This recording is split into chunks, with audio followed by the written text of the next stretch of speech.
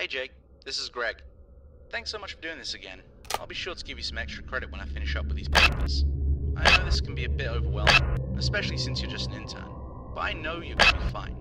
The team's just waiting for some equipment to be shipped out to the island, which should only take a few days. So while we're busy over here, you're over there collecting data for us. Now, I'm pretty sure you've heard some rumors about this place. It's the reason why we're all here after all. I'm not allowed to confirm or deny anything yet, because of the legal agreement we have with Disney. But let's just say you found some questionable things. You thought they were costumes, but, uh, well, it doesn't matter. Just need you to keep a close eye on them. If you look around the building, I'm sure you're gonna see an inverted Mickey character. Now don't be alarmed. Oddly enough, from what we've observed, this thing can only hear. It has pretty weak vision. If it does happen to wander into your workspace, just turn off one of your security cameras. Loud sound the camera makes should lure that thing away. Try to be quick about it though. You probably only have a small amount of time to react. Alright, I'll leave that all up to you. But also, don't mess around with the equipment too much. That stuff costs a lot. Good night.